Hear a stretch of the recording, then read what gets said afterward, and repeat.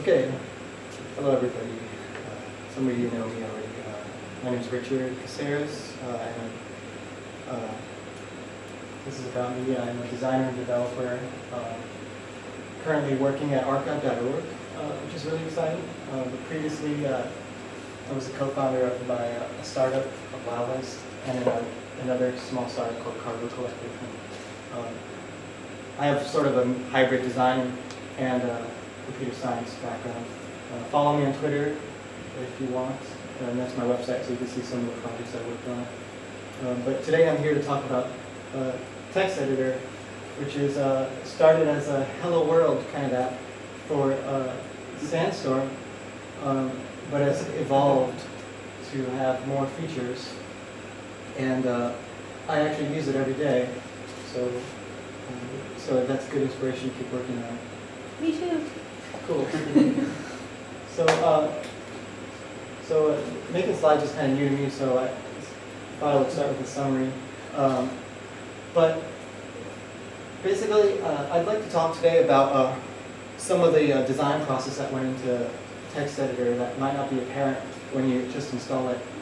Um, and so, you know, I think what's great about Sandstorm is how it fosters like open source development and uh, but and I think that's great and, and in theory it's really great if you want to change a program you can uh, fork it and uh, learn how the code works and then modify it and then learn to build it and build it and upload it and then maintain a fork which is actually a lot of work so I'd like to argue uh, that uh, I think we should as developers try to build a little bit more customization into our apps so that uh, so that it can fit to more people's needs and preferences. Um, so, and then I also uh, like to share some of the design principles uh, that I used in making text editor. So, uh, just a summary: free software out of uh, the GNU Manifesto. You know, free to run the program, free to make changes, free to distribute it, and, and all that. And all that's really great. Uh, but like I just said earlier, it's sometimes it's a little too much work to uh, to fork it and make changes. So um, what makes good free software? It it works first of all. Um, the features are simple. I, I think it needs to be simple. To not try to do too much, not be overcomplicated. Um, in addition, I think if you're releasing the source code with hopes for people to modify it, you should try to make the source code clean and simple as possible and understandable so that other people can go in and modify it. Um, and finally, even better, um, make it extensible, configurable. So, uh, well, just a summary of why Sandstorm is uh, a great tool is uh, it makes it easy to build your own tools, uh, share the tools you build, and use other people's tools.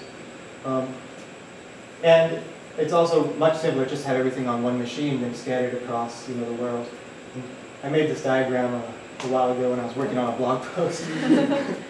so uh, you can see that's kind of like your data everywhere, all around the world, versus you have one computer hosted somewhere, you know, DigitalOcean, Amazon, or in, in your home, and all your stuff is on there.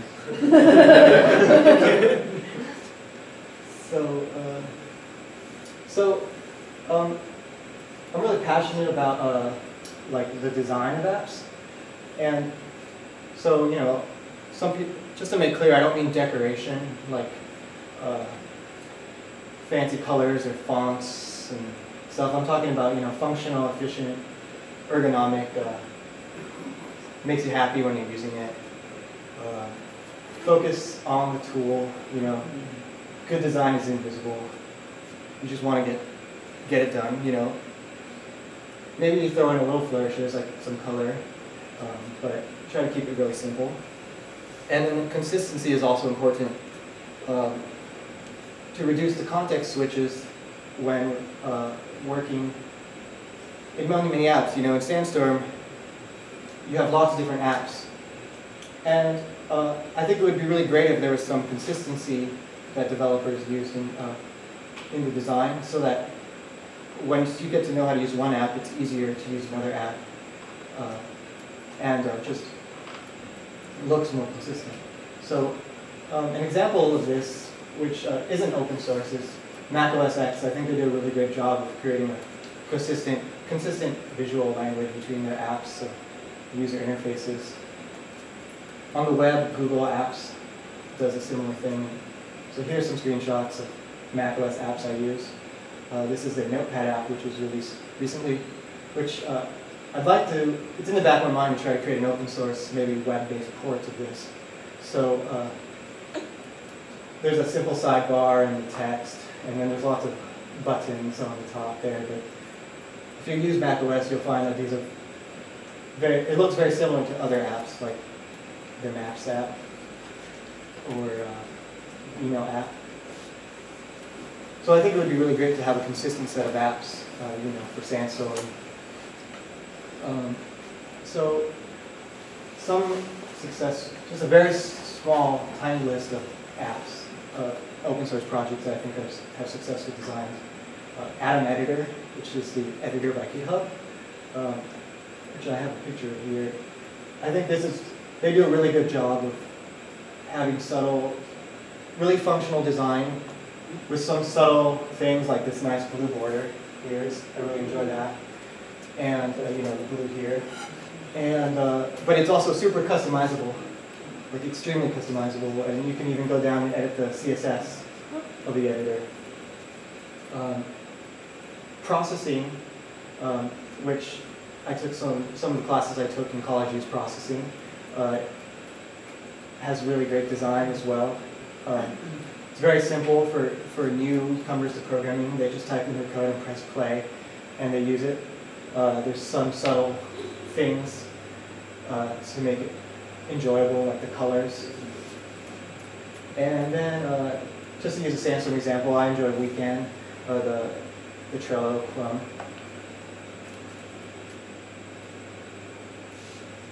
So, uh, what are some good visual guidelines for a Sandstorm application?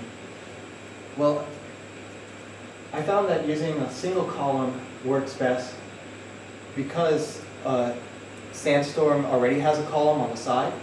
And so if you add two columns on your app, you're adding, you're nesting column layouts. And I think that it's best to just keep it a single column or, or do something more like this where it's sliding over. But the traditional web layout of a two column layout doesn't really work, I find. Um, and then also, I think just uh, keeping it basic with the system fonts works fine. And that's what in text editor, uh, the default font, the fonts you can choose are the system fonts, which are sans serif, uh, serif, monospace. And these look great, you know, whatever device you're on. Um, so, you know, avoid too many icons or graphics or visual elements. Try to keep it simple. And then uh, I think every app would benefit from allowing you to customize the CSS. I, I think that's really important. Um, and in text editor, you can do that now.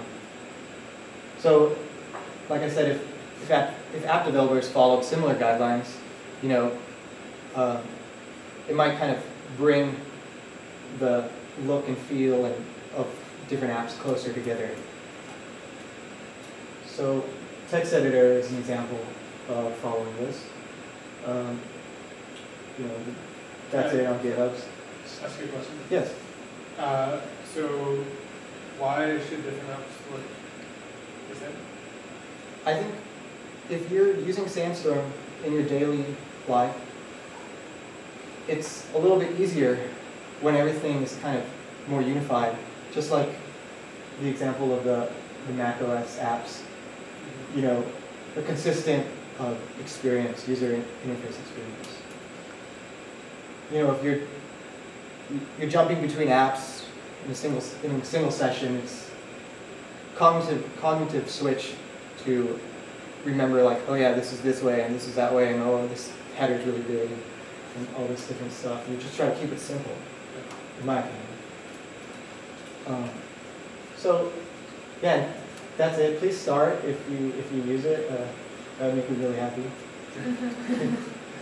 um, so here's a screenshot of text editor in case you haven't seen it. Um, so the recent feature is uh, there's a footer now that tells you if you're connected, and the settings drawer. So this, I thought about different ways to build in more complexity into, into a basic text editor, but uh, not uh, overclutter the design. So I ended up doing a footer that has a drawer.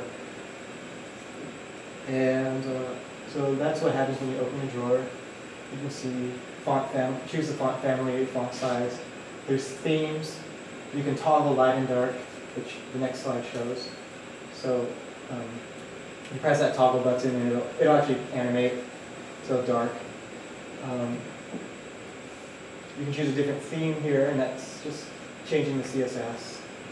Uh, and then finally, if you really want to, you can go in there and change the CSS to however you want. Uh, and uh, you know, it also works mobile. Just show that. Uh, so the, the text editor stack is uh, Sandstorm, of course, is, handles what I call the document lifecycle. You know, it does a lot more than that, uh, the security as well. But and then Meteor handles the real-time data sync. So text editor is actually real-time. If someone else opens it, you share it with somebody, they can see the edits. And then uh, I'm actually using web components and Polymer for the UI building blocks. And Flexbox, which is a new CSS feature for the layout. So if you're not familiar with web components, it's a new standard that's being developed for HTML that allows you to find custom tags that encapsulate uh, certain functionality. So you could have like a map tag that takes a, uh location or attribute and then displays a map. Or, or you can have a, a drawer or something. And I'm using it because as a developer, I get framework fatigue and web components uh, works in all these different contexts. So that's why I'm using it. The goal is possibly to make a set of a set of UI components that uh, would work in different across di- a bunch of different apps. So here's a web component example. Uh, paper drawer is uh, made by Google, and uh, it does what you saw in the other screenshot, where you wrap your code in a paper drawer, and then there's a drawer element and a content element, and then when you click the button, um, which actually I removed here, but the button is in this footer, uh, it opens the drawer. And then Flexbox is really, really simple. I highly recommend it. So this code right here, this is the complete code snippet um, that generates uh, this layout right here with a footer and then a, an area that fills up the rest of the vertical space. So, um, so a few uh, gotchas, or um, which I talked about in another talk the last time, was uh, once you release an app, you're kind of stuck supporting those uh, that stack. So in my case, uh, the text document is stored in MongoDB when it could possibly have been stored in a text file. Um, and uh, so it's just something to be aware of. Like it's different from creating a web service, for example, where you could just completely migrate to a completely different web stack without the user knowing. Here, because you have people uh, using your app and then having it installed, you kind of have to build your migrations like into your app. So text editor from here on out always has to know that at one point MongoDB was used. Uh, and then uh, I used to have header issues uh, one sec, but then uh, Kenton's package uh, fixed that. So now headers uh, permissions work perfectly fine. What was your question? Oh, I, uh, I'm not sure if it's a question about your app or if that's answering, but is there a notion of version of an app?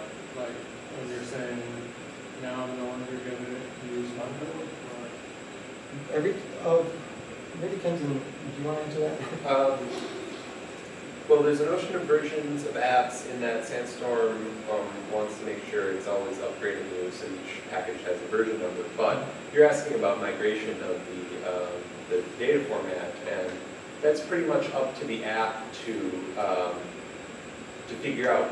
On startup, it needs to check, like, is this data in an older version, and if so, then do the migration right then. But you could say, uh, there's a new version, and that new version Yeah. opened up the The- app, they would get. The problem is, he, um, his new versions of his app always have to support all the old data formats, at least as a migration step. So text editor will always have to have MongoDB in it, the MongoDB binary around, so that it can read old MongoDB databases for the purpose of migrating. Now, it, it may be that you can get away with running it most of the time, since it's only needed for the migration, but you still end up needing to include it in the package. Yeah, yeah. I could like do something crazy, like extract the data from MongoDB, then like delete MongoDB or something. Or- Yeah. But, you know, I think as long as you don't put anything in MongoDB, it stays relatively small in terms of process. It didn't used to be true, that's why I'm laughing. So, uh, what's next? Uh, so I'm similar notion. Uh, the next thing I'd like to work on for text editor is uh, make it a little more efficient.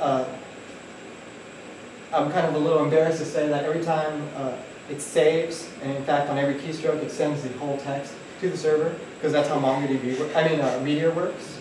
So I'd like to uh, implement an operational transform on there, so it's only sending the delta. Uh, that would be a lot more efficient. Um, and then uh, I'm also working on a bookmarks app, which I put into the Sandstorm community thing. Um, and here's a screenshot of it. Um, I haven't added the CSS editing yet, but it's very basic. It's kind of a more of a Twitter-like thing where you can put in full text. Uh, you can have multiple links, for example. Um, you can filter dynamically and so on. Uh, and yeah, so that's it. So uh, those are mostly my opinions about design, and I'm curious if other people have con- con- con- conflicting views or if they agree. Yeah, thank you.